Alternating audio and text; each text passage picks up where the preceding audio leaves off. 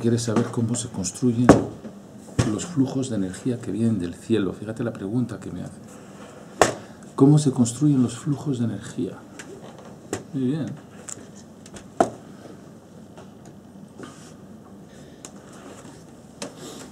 Bien.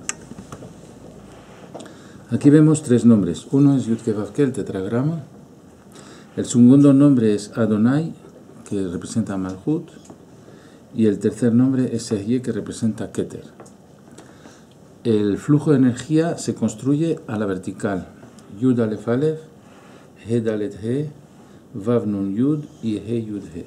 Ahí nos da el nombre de 12 letras que nos suma 112 igual que la palabra Yabok. Eso lo hemos visto varias veces. Ahora la pregunta es ¿por qué se construye así?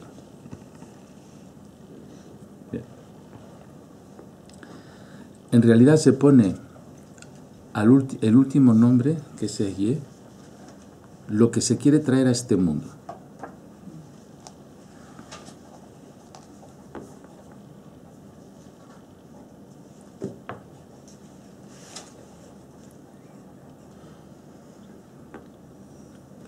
¿Y con qué se trae? Se trae con Yud Aleph, He Dalet, Vav Nun, He Yud, y ahora voy a explicar por qué se construye así. Y para eso necesito hacerte un experimento físico. ¿Vale? Les voy a agarrar una botella de agua.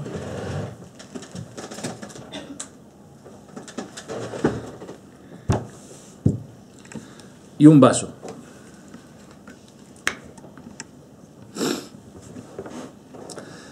¿Qué es lo que quiero meter en mi vaso? ¿Qué tiene que caer dentro del vaso? El agua. Vale. ¿Para eso qué necesito? Necesito un recipiente y necesito un recipiente mayor para que el agua entre dentro del vaso, ¿vale? Entonces vamos a llamar Ehie, que es Keter, que es el flujo máximo que hay, lo vamos a llamar, el agua la vamos a llamar Ehie, que es lo que quiero que vaya, que vaya a este mundo. Además yo voy a juntar la botella con el vaso y lo último en caer es el ingrediente. ¿Es así o no? La botella es el canal. El vaso es el recipiente, Adonai. Así que voy a juntar el canal con el vaso, ¿no? Estoy juntando Yud Aleph He Dalet Vav Nun He Yud. ¿Y qué es lo, único, lo último que tiene que caer? Lo que está dentro del, del conducto. Lo que está dentro de Yud Ke Vav Ke es Ye. Así que ahora estoy haciendo Yud Aleph Aleph He Dalet He Yud He Yud He. Adonai, Yud Ke Vav Ke y el ingrediente es Ye.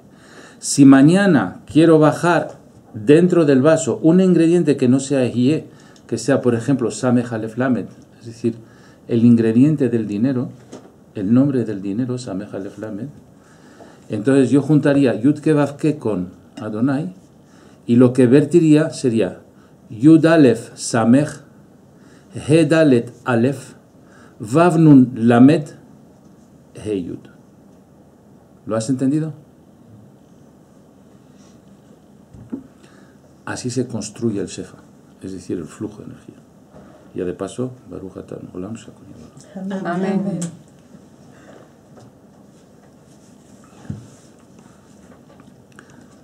Si alguien no lo ha entendido, lo vuelvo a explicar.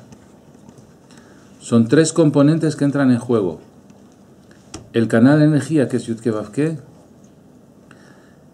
el recipiente, que es Adonai, Malhut, y lo que va a recibir Malhut es lo que hay dentro del canal de energía.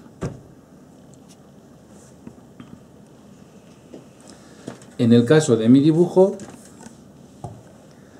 Yudke es el canal, la botella, Adonai es el vaso, Ejie es el ingrediente que quiero verter.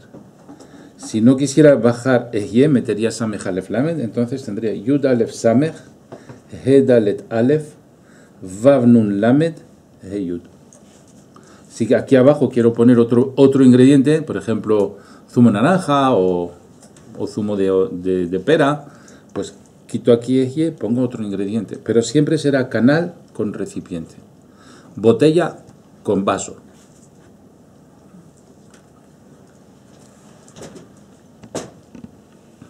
¿Más preguntas de física aplicada? Es que si no, no se puede entender si no os doy el ejemplo. Si no, no se entiende cómo se construye. Es muy gráfico. ¿Más preguntas? No. Bueno. pues-